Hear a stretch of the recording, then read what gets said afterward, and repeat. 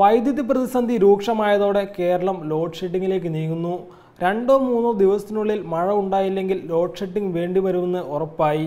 സംസ്ഥാനത്ത് വൈദ്യുതി നില ആശങ്കാജനകമായി തുടരുന്നതിനിടെ ഇക്കാര്യത്തിൽ തീരുമാനമെടുക്കാൻ നാലാം തീയതി യോഗം ചേരാനിരിക്കുകയാണ് വൈദ്യുതി ബോർഡ്.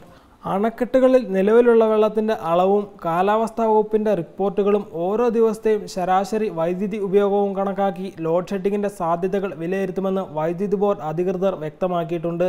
നിശ്ചിത ഇടവേളകളിൽ ചെറിയ തോതിൽ വൈദ്യുതി നിയന്ത്രിക്കാനാണ് ബോർഡ് ആലോചിക്കുന്നത്.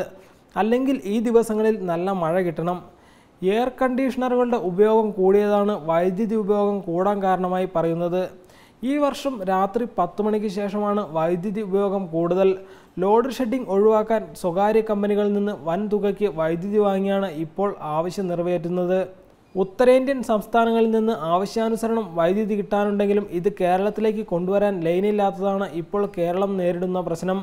കൂടംകുളം ഇടമൺ കൊച്ചി ലൈൻ കഴിഞ്ഞ മാർച്ചിൽ പൂർത്തിയാകേണ്ടതായിരുന്നെങ്കിലും സ്ഥലമേറ്റെടുപ്പുമായി ബന്ധപ്പെട്ട കേസ് നിലനിൽക്കുന്നതിനാൽ വൈകുകയാണ്. കൊല്ലം ജില്ലയിലെ ഇടമൺ മുതൽ കൊച്ചി വരെയുള്ള നൂറ്റി നാൽപ്പത്തിയെട്ട് കിലോമീറ്ററിൽ അറുന്നൂറ്റമ്പത് മീറ്ററിലാണ് തർക്കം നിലനിൽക്കുന്നത്.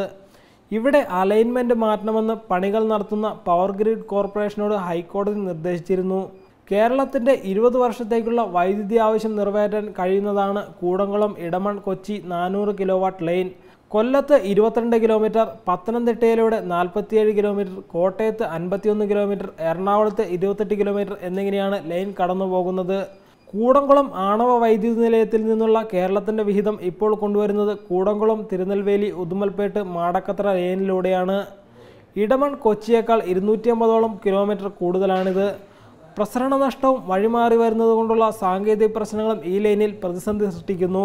സംസ്ഥാനത്ത് ആവശ്യമുള്ളതിന്റെ മുപ്പത് ശതമാനം വൈദ്യുതിയെ ഇവിടെ ഉൽപ്പാദിപ്പിക്കുന്നുള്ളൂ. ബാക്കി മറ്റ് സംസ്ഥാനങ്ങളിൽ നിന്ന് എത്തിക്കുകയാണ്.